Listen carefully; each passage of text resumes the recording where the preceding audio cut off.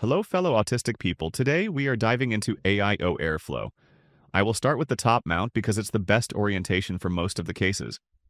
In this configuration, some of the heat generated from the system will end up passing through the AIO. But don't worry, it's not as bad as it sounds. The CPU is unlikely to thermal throttle even with the warm air blowing through the radiator.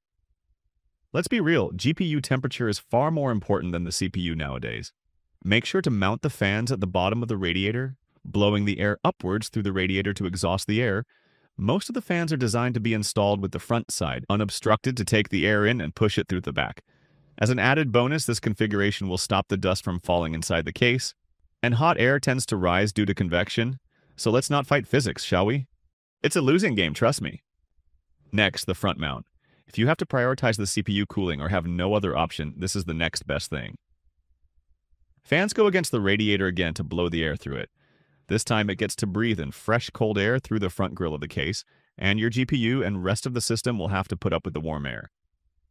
As it's prioritizing CPU cooling over everything else, this configuration can increase the GPU temperature by around 5 degrees Celsius. Next, the bottom mount. Who the f does this? If you are doing this, get some help. Haven't you watched my other only successful video?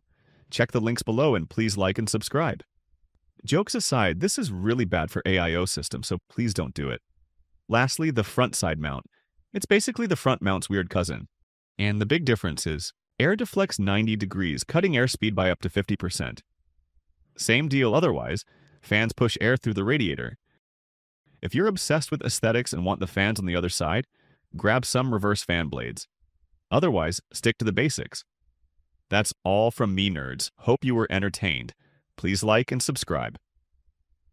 In the next episode, Why You Don't Have a Girlfriend. This program is sponsored by Amtel Thread Rapist.